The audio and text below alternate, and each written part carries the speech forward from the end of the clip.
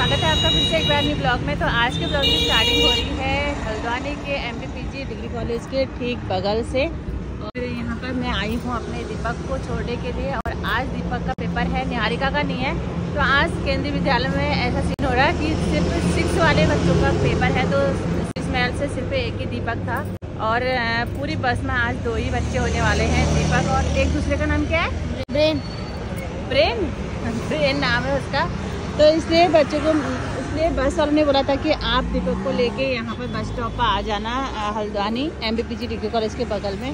तो इसलिए मैं यहाँ पर आई हूँ। आज खाना अकेले है थोड़ा सा नर्वस हो रहा और ये आंटी को मैं हमेशा देखती हूँ, बाबरी पता नहीं कहाँ से आती हैं, ये इनका कोई पता नहीं है कहाँ से आती हैं और पता है मैं इनको शीश महल तक देखती हूँ। तो हमारे ठीक सामने से आप देख सकते हैं hotel, the sky deck Saurabh Joshi भी काफ़ी रुकते हैं और ये है, सौरभ जोशी के साथ जो रहते हैं अक्सर। बॉबी भैया तो ये उनका होटल है और यहाँ पर भारती भी आई थी। भारती भी इसी होटल में रुकी थी जब कैंची धाम यात्रा के लिए भारती आई हुई थी तो इसी होटल में रुकी तो आज मैं आपको दिखाती हूँ आईफोन 14 प्रो मैक्स का जूम और सीधे आपको ले आती हूँ होटल द स्काई डेक में और वहाँ पर कौन खड़े हैं ये आपको दिखाती हूँ मैं। तो ये देखिए ये है आईफोन फोर्टीन यहाँ देखिए यहाँ देखिए। तो बिल्कुल सामने से आप देखते हैं बिल्कुल क्लियर आ रहा है। इतना साफ़ साफ़ दिखा हुआ आ रहा है और सामने कोई खड़े हैं तो अंदर को चले गए। वो भी बिल्कुल क्लियर आ रहा है तो ये मैंने ले लिया है आईफोन 14 प्रो मैक्स से जूम तो आज पहली बार मैंने इतना जूम कर रखा है कैमरा ये देखिए बहुत दूर है और इतना साफ़ एकदम क्लियर तो आ रहा है। हूँ मैं अपने किचन में और मैंने किचन की स्लैब साफ़ करी अब बर्तन धोने हैं और उस खाना को छोड़ के तो सुबह ही घर आ गई थी उसके बाद मैं बैठ गई थी थोड़ी देर वीडियो अपलोड करी आज की। और चाय पी फ़ैन खाया और पता नहीं आज मुझे ना इतना ठंडा लग रहा है मतलब ये ठंडा इस बार जा क्यों नहीं रहा है मुझे ये समझ में नहीं आ रहा कि ये ठंडे ने क्या सोच रखी है आखिर बिल्कुल भयंकर वाली ठंड हो रही है और मैंने जबकि आज अंदर से हाफ़ स्वेटर भी पहनी है बाहर से फुलबाजी की स्वेटर पहनी है फिर भी मुझे ठंडा लग रहा है और जबकि मौसम भी जो है ना बहुत अच्छा हो रहा है तो, तो पता नहीं क्यों इतना ठंडा सा लग रहा है तबीयत भी कुछ खास नहीं लग रही है, पता नहीं क्यों। होंगे यहाँ पर कैमरे में ईजा दिख रहे हैं बैठे हुए। नीचे ईजा लोग बैठे हुए हैं, ये दिख रहे हैं यहाँ पर, देखो। तो कैमरे से ना सब पता चल जाता है कहाँ पर क्या है, कहाँ पर क्या है करके। सबसे पहले मैं निकालती हूँ गेहूँ गेहूँ डालती हूँ धूप में, ताकि वो सूख भी जाएँगे और फिर उनको साफ़ भी करना है। बहुत सारे काम हैं। बने रहे आप ब्लॉग में। क्या क्या होता है आज के दिन?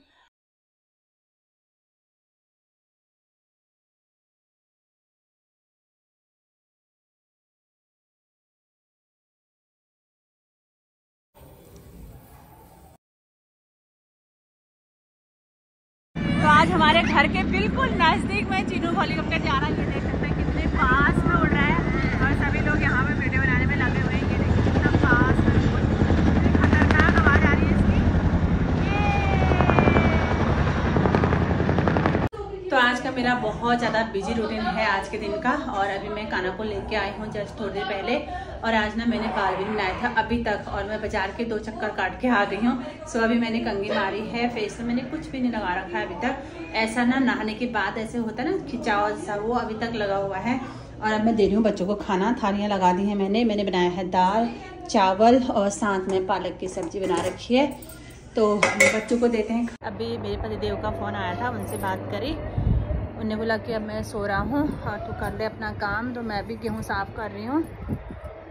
और गेहूँ साफ़ करके मुझे आज ही पिसाने भी हैं ये।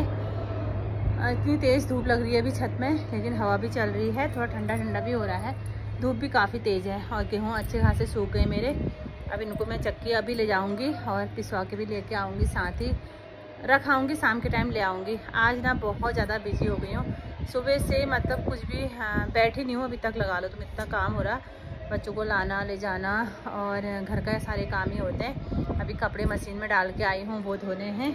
फ़िलहाल तो अभी हम आ गए हैं सब्ज़ी लेने के लिए। मेरे साथ आई मेरी दोस्त रह रहा और यहाँ से हम आज सब्ज़ी लेके जाएँगे। कल है महाशिवरात्रि तो उसके लिए हम तरुण भी लेंगे आज। तरुण तरुण।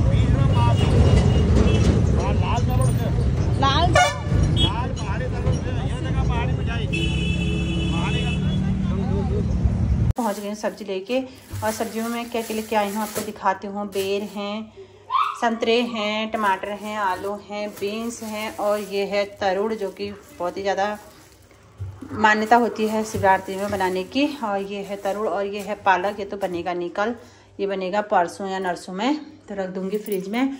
और कुछ सब्ज़ियाँ आ गई हैं, कुछ नहीं आई हैं, जैसे कि कद्दू नहीं आया है, वो कल आएगा। और और क्या नहीं आया है? फ़िलहाल तो कद्दू याद आया है। केले आएँगे कल तो यही चल अभी। और अब करती हूँ खाने पीने की तैयारी। आज तबीयत में मतलब आज थोड़ा शरीर ढीला पड़ गया है मेरा। और अभी बहुत दूर तक गए थे हम सब्ज़ी लेने के लिए, कम से कम दो किलोमीटर। तो वहाँ से पैदल चल के आ रहे हैं, बातों बातों में। और आज मैं चक्की गेहूँ ले गई लेके गई थी।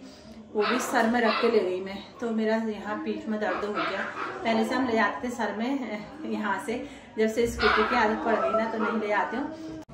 तो अभी साढ़े आठ बजे का टाइम हो गया दोस्तों और बच्चों को पढ़ाने के लिए बैठा रखा है पढ़ने के लिए। और सब्ज़ी बना दी है मैंने दो सब्ज़ियाँ बना रखी हैं एक आलू बीन्स की और एक पालक की। देखो ये उठ के आ गया इसको खुशी पढ़ा रही है। चश्मा क्या लगा लिया इतना बड़ा? ये उतार इसको। वो क्यूट लग रहा है उसमें।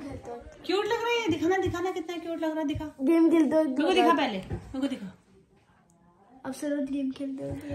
तो ये पढ़ाई कर रहे हैं अभी। और हम बनाएँगे रोटी साढ़े नौ बजे, क्योंकि कल छुट्टी है, तब तक इनको पढ़ाती हूँ।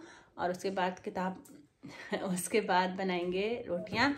और न्याय कहाँ पर लगी हुई है? यूट्यूब से पढ़ाई कर रही है। मैथ्स के क्वेश्चन देख रही है क्वेश्चन आंसर यूट्यूब से।